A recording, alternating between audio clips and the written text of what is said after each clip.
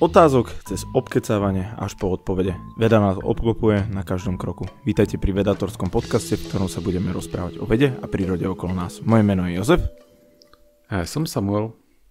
Tento podcast vychádza vo spolupráci so SME. Vysoký nárast oxidu uhličitého vo vzduší. Je naša budúcnosť už spečatená? Nemusíte prestať používať práčku či chladničku, aby ste pomohli prírode. Stačí využívať zelenú elektrínu vyrobenú zo 100% obnoviteľných zdrojov, bez emisí a oxidu uhličitého. Zelenú elektrínu zo slnka, vody či vetra prináša do vašej domácnosti ZSE, líder v poskytovaní zelených riešení. Ču, ču, ču, Samko. Uh, ďalšia magická hranica pre... to mali byť výbuchy alebo také niečo, raketky. A, a, ďalšia magická hranica prekonaná našim podcastom a, cez 800 tisíc, myslím, máme už počúvanosť. Mm. Moc to už a... nesledujem. Ani ja to nesledujem, Pff, som už tak zavodol, že to nemusím sledovať. A vždy, keď si chceme dať zamienku pre urobenie fakt dobrých otázok, tak ja sa veľmi teším, ďakujeme veľmi pekne, celá redakcia sa veľmi teší a že nás počúvate, že nás máte radi a že nás šerujete a to, to je úplne úžasné. Ne, neviem vám viacej poďakovať. A e, máme tu ďalšie vydanie fakt dobrých otázok, toto je Peťka, Tiež už to moc nepočítam. Šeska, nepočítam to a ospravedlňte sa, už je to také uvoľnené nahrávanie. Uh, tak hupneme do toho, zase ospravedlňujeme sa, uh, museli sme, došlo nám nespočet veľa otázok, za čo sme uh, neskutočne radi. Uh, budeme sa snažiť ich nejako na ne odpovedať časom, alebo na Clubhouse, alebo na Instagrame sa, mu, sa bude snažiť, ale nedá sa na každú odpovedať, mal by 4 hodiny tento podcast. Ale určite ich posielajte, strašne si to vážime a mm, dojde. A keď ste náhodou posielali nejaké otázky, na ktoré máme podcast, tak buď to povieme, alebo si skúste pozrieť naše podcasty. Uh, dobre, tak začneme uh, s prvou otázkou. Ja ti, hneď ti nabijem samo vedecký humor. Akým spôsobom a ako rýchlo sa dá terraformovať Mars? Čiže terramorfácia vlastne znamená, že pretvoriť Mars tak, aby sa viac podobal na Zem, čo v podstate znamená, že chceme, aby mal atmosféru, Chustejšiu. chceme, aby tam bolo trošku teplejšie, lebo on má strašne riedku, on má asi tak 1% oproti našej. Uh-huh. No a myslíme si, že kvôli tomu, že mu odfúkol slnečný vietor, kvôli tomu, že prišielo magnetické pole, lebo vychladol, teda vychladlo jeho jadro. Takže je veľa nápadov, ktoré samozrejme nemusia fungovať, ale jeden z nich je taký, že najprv urobiť umelé magnetické pole pre Mars, čiže natiahneš tam takú cievku, čo ide okolo celej planéty, ktorá bude jeho tieniť pred slnečným vetrom, no a potom Napríklad pomocou obrovských zrkadiel roztopíš tú vodu, čo sa tam nachádza, tá vytvorí, e, tá vytvorí atmosféru, ktorú prípadne vieš potom modifikovať tak, aby si tam vytvoril skleníkový efekt a aby sa Mars začal postupne zohrievať. Takýto plán v veľmi hrubých odhadoch by mohol trvať asi 300 ročia, kým by začal byť trošku použiteľný s tým, že to samozrejme vôbec nemusí fungovať. Na Marse musíme spraviť to, čo robíme tu, skleníkové plyny vypúšťať. Hej, paradoxne, Marsu by to mohlo prospieť, lebo je ďalej od Slnka. Hej. Každopádne, akože o, záver je taký, že ľudia o tomto rozmýšľajú, že či sa Mars dá pretvoriť o, na podobu Zeme. Odpoveď je podľa tých ľudí, ktorí sa tomu venujú, že možno áno, ale nie je to zatiaľ také, že by sa to seriózne plánovalo, alebo čo, len že keby sme náhodou sa tam museli presťahovať, tak či tam musíme znášať tie mrazy. Uh, takže vedecký humor, určite sa tam nepresťahuješ na nejakú karibskú dovolenku, tak skoro. Dobre, ďakujeme za otázku. Uh, na sibírskú na, dovolenku možno iba. Na sibírsku, no. Ale takú ešte horšiu sibírsku, čo je až oxymoron. Očami farmácie, wow, to sa nás pýtali oni, super. Dá sa vo vesmíre počať dieťa? Ja jedine viem, že nikto ešte taký nebol počatý a sú o tom rôzne tiež teórie, že niektorí hovoria, že áno, niektorí nie. Ja som nepočul o takom dôvode, prečo by to nebolo možné, takže takmer 100% to možné je. Fakt, lebo ja som počul, že e, kvôli gravitácii, že dieťa nebude mať ten reflex, aby sa posúvalo ďalej? Alebo neviem, možno hovorím hlúposť. keď nič iné, ty si vieš urobiť umelú gravitáciu, takže tvoja loď sa otáča a robí odstredivú silu, ktorá nahádza Áno, ale asi čiže... na toto sa nepýtajú, že v umelej gravitácii. Ťažko ale... povedať, čo sa Marek pýtal. Každopádne NASA všetky tieto biologické aspekty skúma postupne na Medzinárodnej vesmírnej stanici, ale podľa mňa, kým je pobyt na Medzinárodnej vesmírnej stanici veľmi obmedzený, tak sa táto otázka nebude dať zodpovedať. A to nie covidom. Ale niekto teraz akurát e, zdieľal článok o tom, že sa chystá urobiť hotel na obežnej dráhe, tak podľa mňa hotel prinesie odpoveď na otázku, že či sa dá vo vesmíre počať dieťa. Dosť skoro ho chcú aj spraviť ten hotel 2027, myslím, že už by mal no. fungovať, alebo 25, také niečo. Čo mi príde tak. asi len taký PR stand a bude to, že 2047. Takže definitívny dôkaz sa dozvieme, dozvieme podľa mňa potom, čo bude ten hotel postavený. Uh, potrebujeme nejakú reality show uh, na obežnej dráhe. Uh, dobre, tak ďakujeme veľmi pekne očami farmácie. Máte aj plugin zadarmo. tretia otázka, Janka. Čo by sa dalo dosiahnuť, ak by sa, ak by sa jeden celoročný rozpočet dal na vedu? Celoročný rozpočet čoho? A USA veľmi veľa. A takého Kamerunu ne, troška menej. No, podľa mňa odpoveď je taká, že nie až tak veľa, ako by ľudia čakali, lebo väčšina vedeckých vecí sa nedieje v horizonte jedného roku. Akože za ten rok vieš zmodernizovať možno labáky, uh, uh, zmodernizovať budovy a podobne, ale napríklad potrebuješ ľudí platiť 10 rokov, aby urobili niečo zmysluplné, takže Aj. jeden rok až taký veľký rozdiel nespraví. Ja by som, ale... to dal, ja by som to dal na príklade NASA, ktorá má obrovský rozpočet, ale stále je to, hovoria stále je to málo, niektorí mm-hmm. hovoria, že to veľa, to je jedno, ale presne ako sa mu hovorí, že tie misie sa nedejú, že teraz ideme niečo postaviť a v januári a v decembri to po, e, postavia a pošlú do vesmíru. Proste to je naozaj horizont desiatok rokov niektoré misie. Na druhej strane, že keď už máš tú infraštruktúru a naleješ do nej obrovské peniaze, tak tam sa vedie diať zázraky, ako napríklad keď sa letelo na mesiac a NASA niekoľko rokov dostávala niekoľko percent štátneho rozpočtu, mm-hmm. tak vtedy naozaj sa robili, že mílové kroky. Ale už musíš mať tú infraštruktúru, ktorá sa budovala predtým 10 ročia. Takže ak by si zrazu došiel napríklad na Slovensko a dali jej také isté peniaze, ako dostala vtedy NASA, tak asi nestihneme vybudovať vesmírny program, lebo trvá pár rokov, kým vy, uh, uh, vyučíš ľudí, ktorí sa tejto problematike venujú. Ale mohol by to byť veľmi pekný základ na to.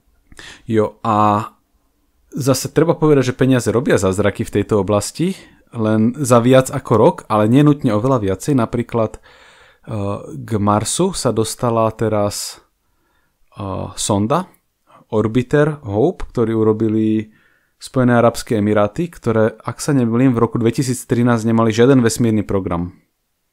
Ale povedali si, že toto je ich jedna z nových priorít, naleli do toho obrovské peniaze a v podstate na zelenej luke, teda tak zelenej luke, ako len môže byť Sadské Araby, vybudovali vesmírny program, ktorý úspešne dostal orbiter k Marsu, čo akože že šialene veľa za 7 rokov s cestou. Za 7 rokov s cestou je to strašne veľa. Ale mám Hej. taký pocit, že im veľmi pomáhali z NASA. Mne sa zdá také, že niečo som čítal, že oni dosť veľa veci prebrali. Uh, že presne ako ty hovorí, že na zelenej lúke postaviť uh, napríklad urychlovač je o dosť ako keď už mm-hmm. niečo máš vybudované, tie infraštruktúry a tak. Ale určite by to bolo zaujímavé vidieť uh, rozpočet uh, nejakého veľkého štátu daný do vedy. Ale to sa asi nikdy nestane, keďže sú vojny nejaké, ktoré treba. Dobre. Uh, uh, ďakujeme Janka za otázku. Uh, to čo je toto? Podcastový špeciál? Dve baby o vede. Uh, ako sa ti začal páčiť na Slovensku? To je na samka. Pred rokom sme sa vrátili aj s priateľkou z Írska a tešili sme sa, že konečne po rokoch zahraničí, ako sa budeme stretávať s kamošmi a chodiť na koncerty a neviem čo. A zhruba vtedy uh, sme zavretí doma, takže z tohto aspektu nie som úplne spokojný, ale tak uh, zase no, nemôžem sa stiažovať, iní ľudia sú na tom, v tomto ohľade ešte horšie, takže... Čo sa dá robiť, hej. hej. Uh, ďakujeme veľmi pekne dvom babám aj o vede. uh, Adelele, môžu byť galaxie aj nad nami, aj pod nami? Áno, dobre si to prečítal. V podstate Adelaide viac rozvinula svoju otázku správne, kopíroval som to celé, ale vlastne teda, že ona si predstavuje, že všetky veci sú zarovno s nami, tak ako sa točí mliečna cesta, tak v rovine toho disku. Ale odpovede mm. samozrejme, že vesmír je v tomto veľmi neusporiadaný a každým smerom sa pozrieme, tak tam vidíme veľmi veľa galaxií. A na úplne najväčších škálach vyzerajú byť roztrúsené po vesmíre takmer rovnomerne. Že by s tým mala niečo temná energia? Uh, Dobre, uh, to, to, by to ja som len hodil rečnickú otázku, to ne, nemalo byť teraz, že... Uh, tak ďakujeme Adeleile uh, za super otázku, ospravedlňujem sa za to prečítanie. Pán Kulečník, aké bolo uh, vaše oboch štúdium na vysokej škole? Zvládli ste to a aké máte spomienky? Tak Samko to očividne zvládol. Čakaj, ty si to zvládol, ne? A ja som to zvládol. Obaja sme doktori, každý trochu iný a ani jeden ten normálny. Ani jeden ten normálny. Už, ale mohli by sme si nájsť kamaráta, ktorý je reálny doktor. Pre istotu. Uh, hej, uh, inak, um, pán Kulečník, výborná téma, možno nie na celý podcast, ale mohli by sme spraviť, že nejaké uh, srandovné historky zo štúdia. Uh, mm-hmm. Možno... Um, ja až tak veľa nemám. A tak dve, tri nájdeš. Vieš, Ja som išiel na vysokú školu s tým, že bolo mi pomerne jasné, že ma skôr či neskôr vyhodia.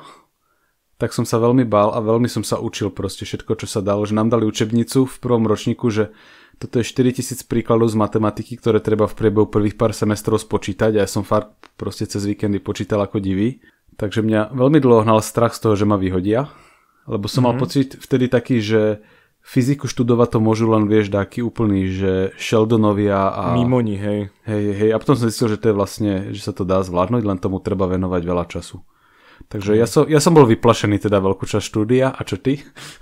Uh, ja som bol tiež vyplašený dosť veľkú časť štúdia, uh, lebo tiež som mal, mm, mal taký pocit, že, uh, že je to ťažké štúdium a musel som si dávať pozor na ne, nechcel som nič opakovať, čo našťastie, musím povedať, neopakoval som nikdy skúšku a, a, a vyšlo to nejako, proste, akože na štúdiu musíte mať aj šťastie, akože to mi povedal profesor v treťom ročníku a je to úplná pravda, proste, lebo nikdy nemôžete vedieť všetko.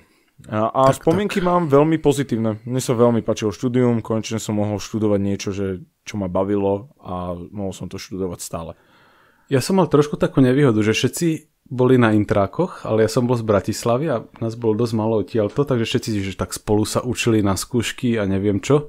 My sa zase nechcel kvôli tomu chodiť na intráky. Hej, aj ja som mal toto strašné. Akože toto mi veľmi vadilo, že á, ten intrakový život, by som si zažil proste aspoň jeden semester, ale potom som začal chodiť dosť na intraky, lebo bývala bola z intrakov a som zistil, že nechcem byť na intrakoch viacej, ako musí byť. Vytriezol si z tohto romantizmu, že? Hej. Dobre, uh, ďakujeme pánovi Kulečníkovi za možno aj nápad na mm, Clubhouse alebo taký pokec. Uh, siedma otázka. Jurajka.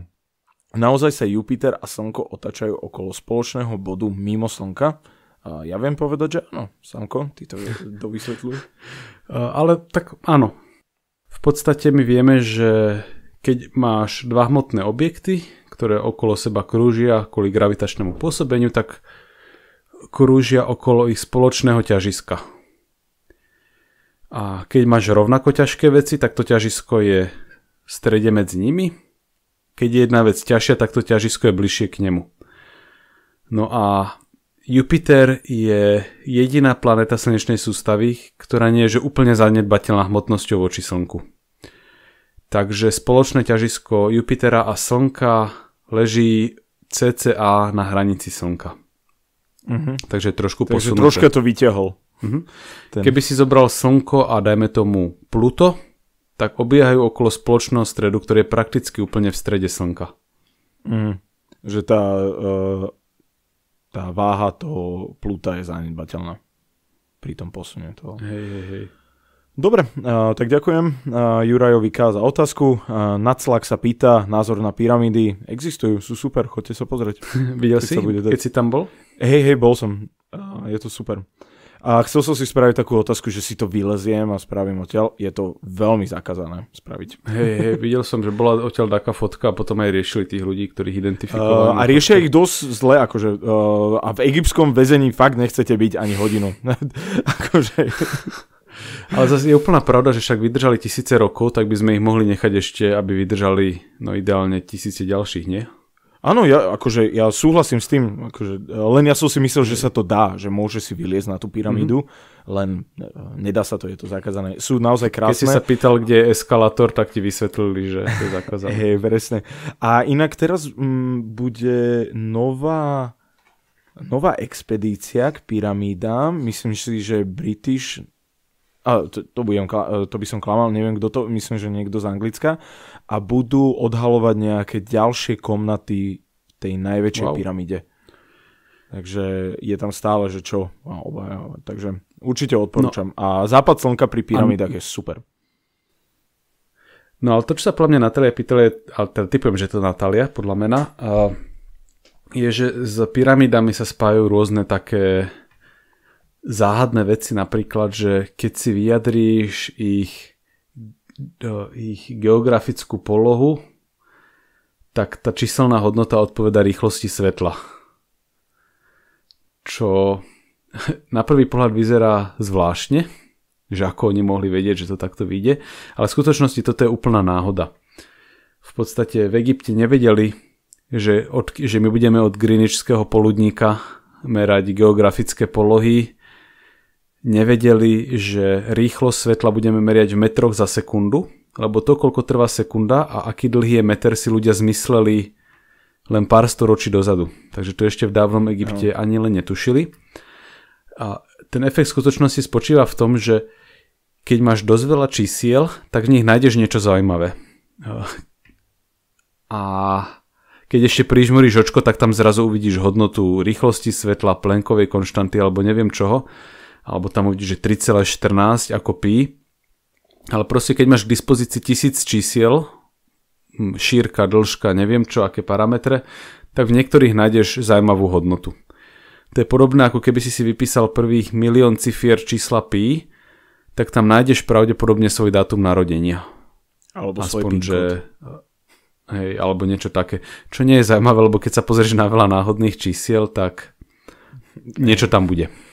Hej, uh, ja nemám na toto, lebo Hej. podľa mňa to nemá nejaké... Takže po, podľa, mňa, podľa mňa to také zbytočné mysticizovanie. Hej. Ale oni sú samostatné, úžasné. Už len e, bez hociakého prikrašľovania, že muselo tam byť zakodovaná rýchlo svetla a tak. Takže... Ono ináč občas chodí taký obrazok po internete, že aká záhada, že všade na svete sa objavujú pyramídy akože pyramída je evidentne tvár, ako uložiť kopu kameňov na kopu tak, aby sa nerozpadla. No, áno, akože teda... keď pozeráš babetka, ktoré sa hrajú s Legom, presne tak ukladajú tie kocky. Takže... tak, hej, celkom rýchlo pochopia, hej, že... je Proste, že... Uh, dobre, uh, tak ďakujeme nad slag uh, za otázku. Uh, Robko Lemko sa pýta, prečo teleso po dopade na Zem zhorí v atmosfére? Tak teleso uh, nedopadne na Zem, keď zhorí v atmosfére. Buď dopadne no, na Zem, hej, alebo tak, zhorí. Tak je to myslené. keď právnik uraduje. A zhorí kvôli tomu, že má dosť veľkú rýchlosť a to trenie ho spáli o, o našu hej. atmosféru? V podstate Typicky sa meteoridy pohybujú rýchlosťou, dajme tomu, že 20 km za sekundu, čiže 72 tisíc km za hodinu. Čo z pohľadu meteoritu vyzerá tak, že on má pocit, že on stojí a my ideme oproti nemu, čiže naša atmosféra, čiže vlastne ako keby okolo neho zrazu začal fúkať vietor rýchlosťou 72 tisíc km za hodinu. Takže to znamená, že častice vzduchu, ktoré sú voči nám úplne nežné, tak do ňoho narážajú takou silou, že ho vlastne zohrievajú. A mm-hmm. on vlastne postupne ohorí, či neplatí zase si povedal, že to bola tak právnicky presne, ale sú objekty, ktoré čiastočne zhoria a potom dopadnú, takže... Ale zhorí, zhorí znamená, že není ten objekt. Vieš, akože mm, hej, hej, áno, vieš. áno, to je pravda. No. Hej.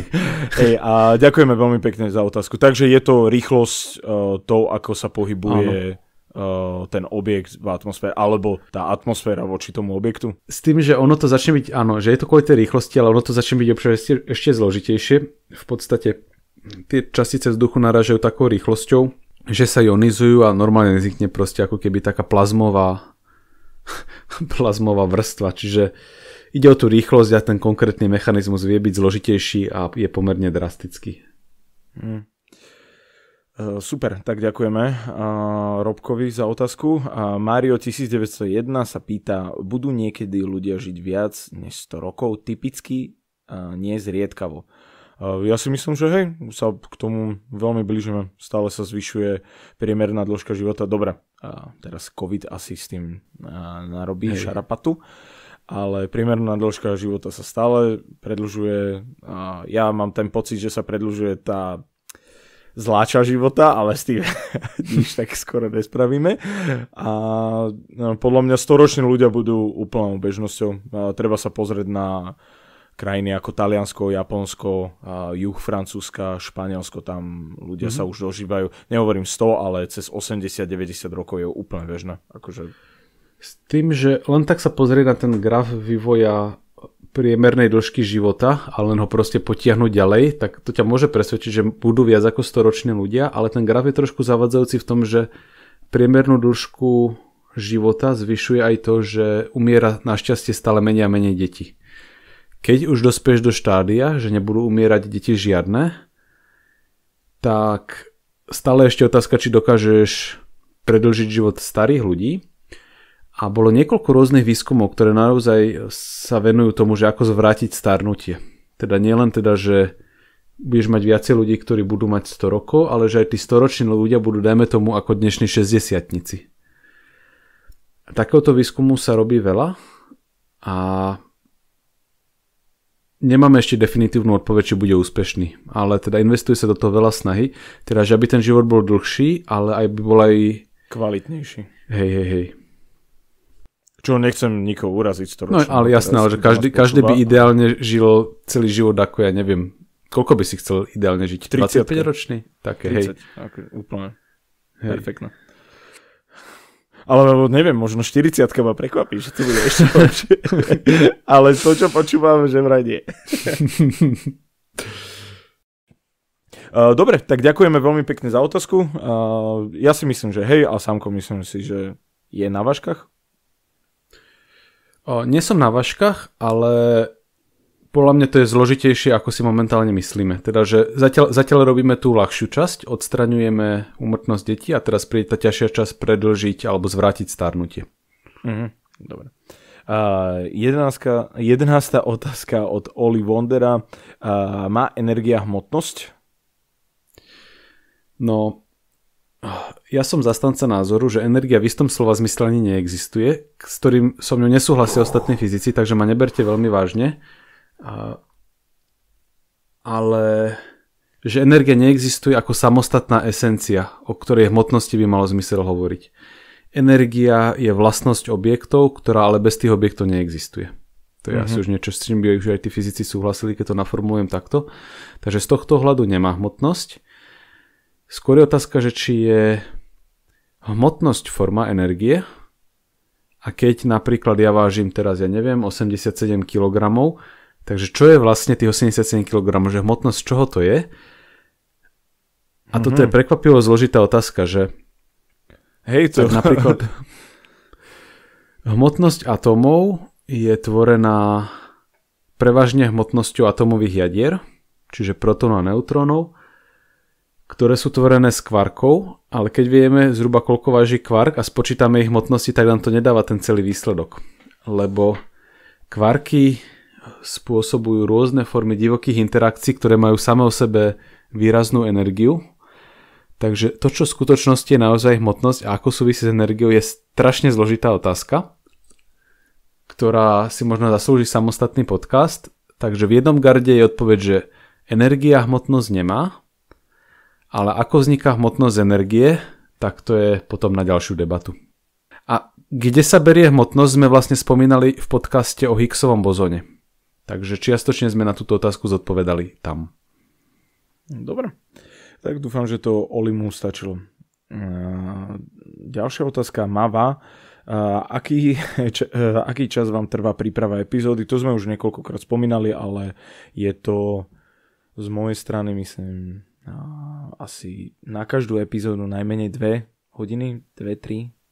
U mňa je to úplne, že ako kedy. Napríklad dnes nahrávame tri epizódy, z toho urobiť, pripraviť sa na fakt dobré otázky a v podstate len zozbierať otázky z Instagramu. Nahrávali sme potom epizódu o, o čiernej diere v Cerne, o ktorej som ale prednášal nedávno. Takže som to vlastne už mal premyslené, takže to bolo prakticky bez prípravy. No áno, ale to musíš zahrnúť do toho. Tú prípravu na tú prednášku. No. No a prednášku som si vybral, že budeme rozprávať o mikroskopických čiernych dierach v CERNE, lebo som práve odborne som sa venoval mikroskopickým čiernym dieram, takže ja som taký recyklátor týchto vecí, že keď o niečom rozmýšľam v jednej platforme, napríklad vo výskume, tak to potom skúsime pretaviť do prednášky, podcastu a tak ďalej. Ale to je perfektné, lebo máš tie informácie a tie znalosti k tomu, takže... Takže tá bola relatívne krátko, ale na druhej strane uh, hľadanie mimozemského života tam vždy aj pomerne podrobný prieskum rôznych internetových zdrojov a v prípade niektorých epizód, napríklad aj tejto poslednej som si prečítal celú jednu knižku len kvôli tomu, aby som sa na to pripravil, ten Avi Loeb a ten jeho Extraterrestrial. Áno, t- tá epizóda bola taká nadštandardná, e, čo sa týka prípravy, myslím, že u oboch. Takže hej, asi hej, tak. Je, to, je to veľmi rôzne, ale fakt uh, sa nepripravujeme vôbec skoro. uh, je to aj tak niečo. Dobre, uh, ďalšia otázka, ďakujeme veľmi pekne. Uh, Jaroslav Masa sa pýta, je problematické poslať rover na Európu alebo Ganymede? Uh, plánuje sa to? Áno, plánuje sa to. Bude to v najbližšom 10 ročí? Koncom? Tak, uh, existuje isté podozrenie, že tie misie sa budú zdržiavať ale na Európu sa čoskoro pošle orbiter, ktorý bude krúžiť okolo a bude mapovať jej vlastnosti, fyziku, chémiu, to bol ten Europa Clipper, nie? Myslím. Áno, áno. Mm-hmm. A mhm. po ňom o niekoľko rokov príde Europa Lander. Takže plánujú sa Landre. Uh, neplánujú sa podľa mňa rover. Rover je ako keby vozitko, ktoré sa aj hýbe. Podľa mňa aj kvôli tomu, že na týchto mesiacoch je malá gravitácia a je možné, že sú pomerne klské, takže je ťažké tam podľa mňa urobiť úplne dobré, dobrý rover, ktorý by 100% fungoval. Takže mm-hmm. úplne na prvú podľa mňa bude stačiť, keď sa tam pošlo niečo, čo pristane a bude stať. V Európe sa rozmýšľa, že má niekoľko kilometrovú vrstvu ľadu a pod ňou oceán. Tak som aj tak rozmýšľal, že oni v podstate existujú rôzne veci, ako by sa dal prevrtať ten ľad. Napríklad, že zoberieš uh, niečo, čo má tvar fľašky od takého nápoja, ale bude to radioaktívne, čiže to bude vlastne sa zohrievať samé. Vlastne to len položíš na ten ľad a necháš, aby si to pretavilo cestu až dole a aby to za sebou ťahalo taký káblik. A potom tam dáš niečo, že keď budeš v vode, tak mi pipni, vieš, a pozrieš sa, koľko káblika sa odmotal. Alebo vieš niečo na tento štýl. bude na konci, že, jo, ktorá Čiže toto, toto by bolo pekné, takže možno budeme radi. Toto pošli inak do NASI, to je dobrý nápad. Už, už som zmeškal asi deadline na... No, čo ty vieš, keď je to dobré, tak... Uh, dobre, takže sme odpovedali Jaroslavovi. Petra, Petra Janku sa pýta, chceli by ste vydávať podcast dvakrát týždeň? Uh, ja by som chcel, ale nie je na to čas, už takto je to dosť náročné, uh, nakoľko Samko má veľmi veľa aktivít, ja mám veľmi veľa aktivít a ešte keď to dáme dokopy, tak uh, je, je veľmi ťažké už len sa stretnúť a nahrať ten jedenkrát týždenne, ten podcast. Tak, stretnúť časovo, teda nahrávame na diálku a v podstate ano. na to, aby sme nahrávali dvakrát týždenne, tak podľa mňa naozaj, že by sme potrebovali seriózny produkčný tím, človeka, čo to spracuje, potom niekoho, kto robí fact-checking mm-hmm. a mhm. prípadne ešte aj niekoho, kto dáva dokopy scenár alebo vieš akú tú prípravu materiálov. No to sú všetko veci, čo robíme teraz a... Alebo by sme museli ísť na nejaký polovičný úvezok, že by sme svoje Hej. nejaké vedľajšie aktivity uh, obmedzili a by sme z tohto boli platení. Ale... ale ja som ináč úplne spokojný, že jedenkrát týždenne je také, že nemáme problém vymýšľať témy, lebo toľko je zaujímavých vecí, že raz za týždeň je to akurát. Dobre si to povedal, je to akurát. Hej, hej, hej. Ďakujeme veľmi pekne Petre a Janke za otázku, alebo Petre a Janku za otázku. Road cones protect my head. Aký je tvoj najobľúbenejší čaj? No, ja som si ich vypísal niekoľko. Je, že to čo sú za random slova pod tým, že potom, aha, už vidím. Ulong je super. Ja, ja poviem takto, ja nemám nejaké názvy z čajov. Ja milujem japonskú maču a ulong čaj. Tie sú výborné.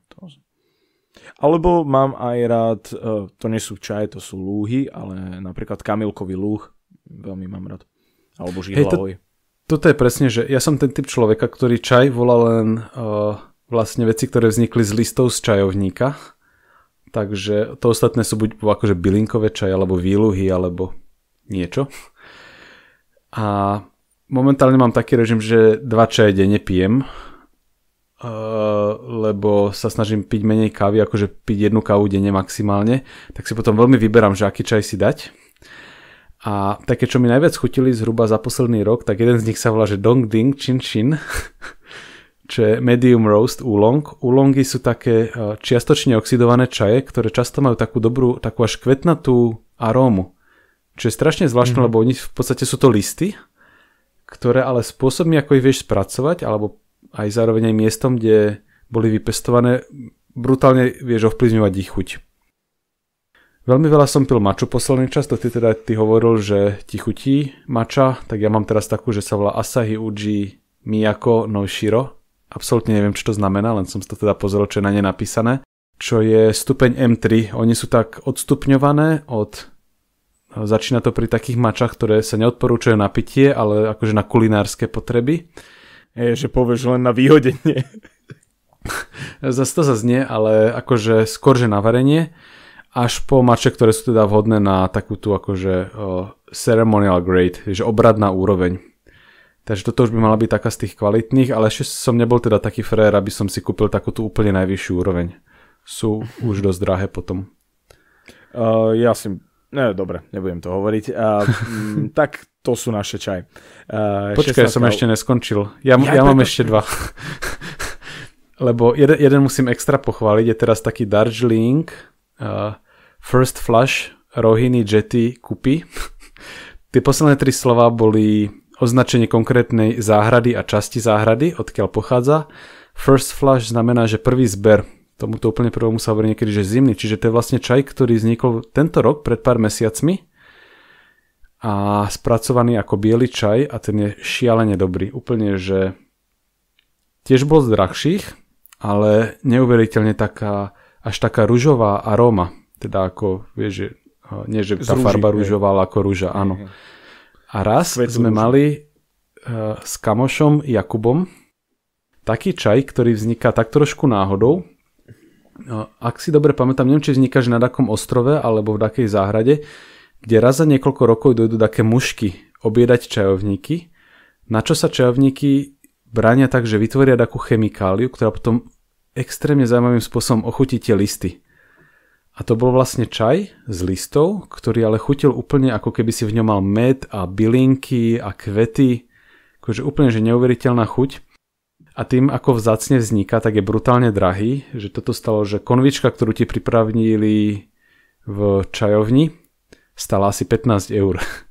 Fú. Ale spomínam na ňo už asi 8 rokov, takže to možno aj stalo za to. Určite, keď 8 rokov spomínaš na nejaký čaj, tak to stalo za to.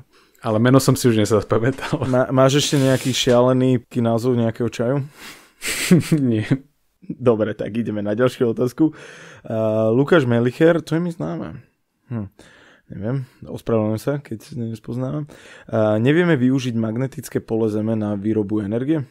Obávam sa, že nie, lebo to, čo potrebuješ na výrobu energie, je premenlivé magnetické pole.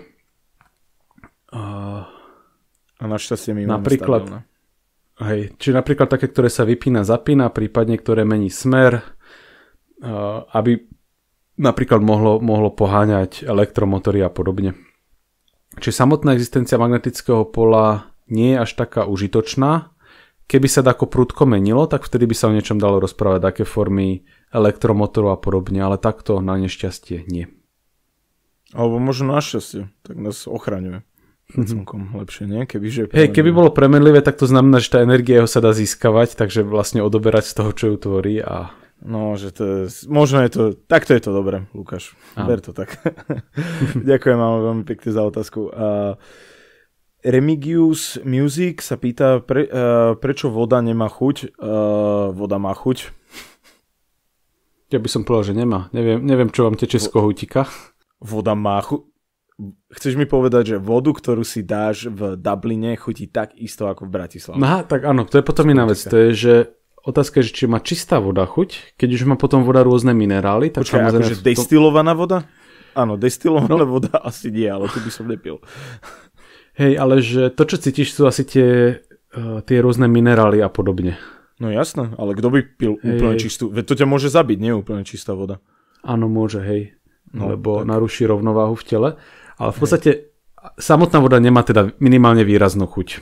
A otázka je, že prečo? A jedna odpoveď je taká, že však to je ten neutrálny základ a nemá zmysel, aby sa ti voči nemu vyvinula chuť, lebo by si neustále niečo cítil, vieš, cítil by si vlastné sliny a podobne. Ano. Ale možno sa na to dá zodpovedať aj štýlom, že prečo vlastne niečo má chuť. A... Áno, prečo všet, e, všetky nejaké na, chute nie sú na základe vody. A to, čo som o tom čítal, je, že v podstate keď máš tie 4 základné chute, kyslá, horká, slaná, sladká, Prosím, a prípadne 4. teda aj Ty piata umami. umami. No jasné, ale toto, vieš, to, to, toto je ako farby duhy pre mňa.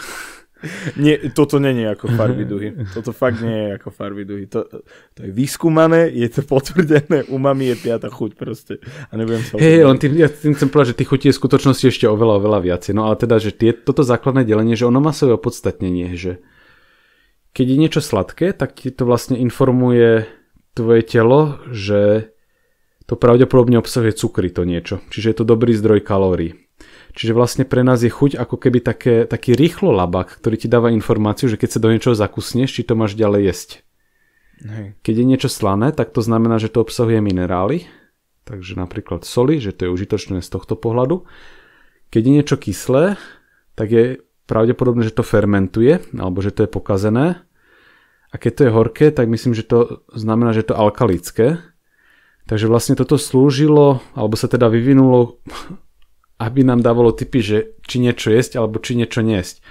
A z tohto pohľadu asi vodu nemá zmysel ako špeciálne označovať, lebo voda úplne čistá je dobre rozoznateľná, takže nemáš evolučnú potrebu mať k nej priradenú nejakú chuť.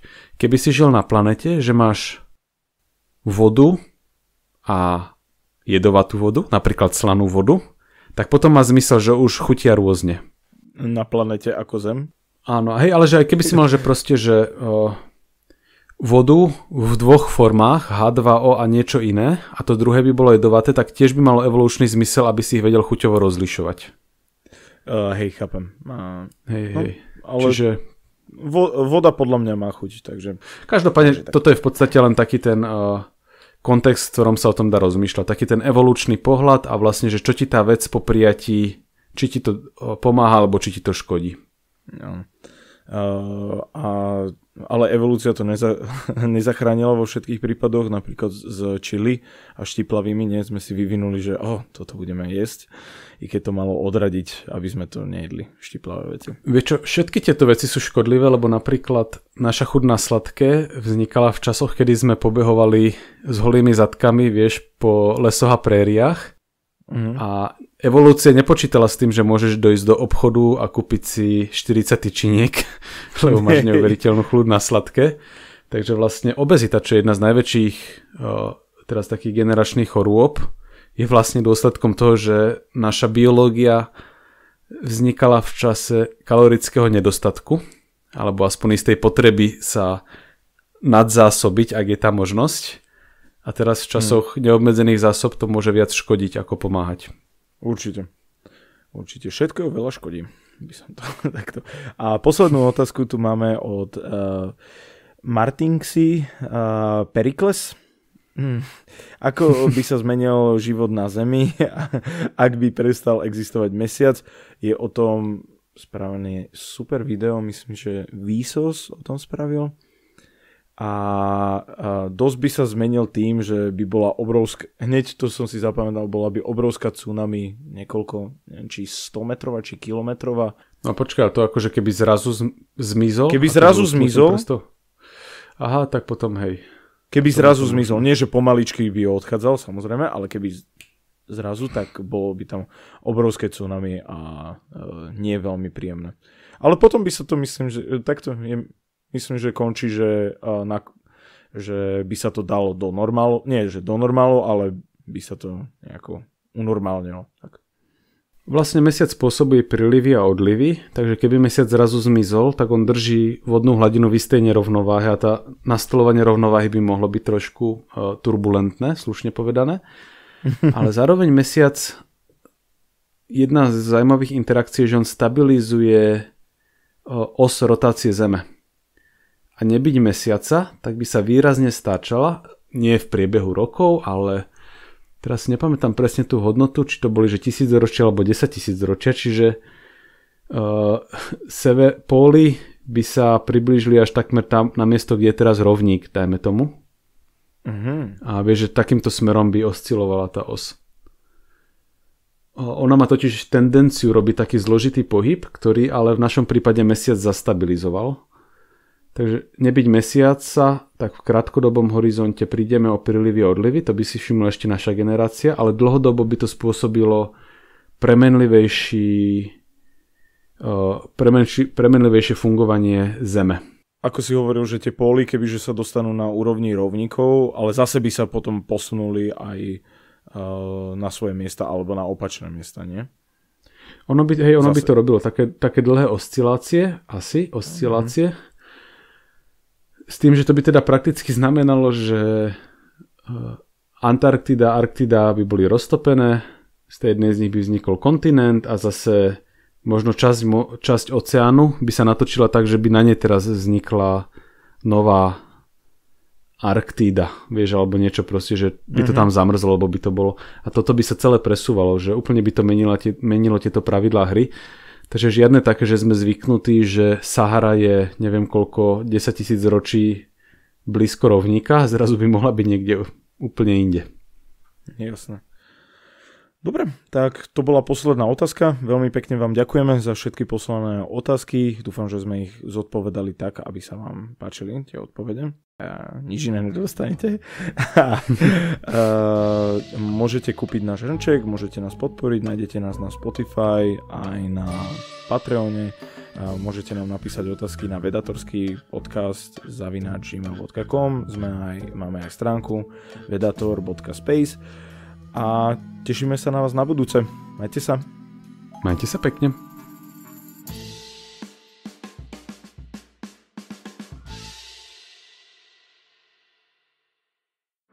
Aj vaša pomoc prírode sa počíta. Zelenú elektrínu do vašej domácnosti prináša ZSE.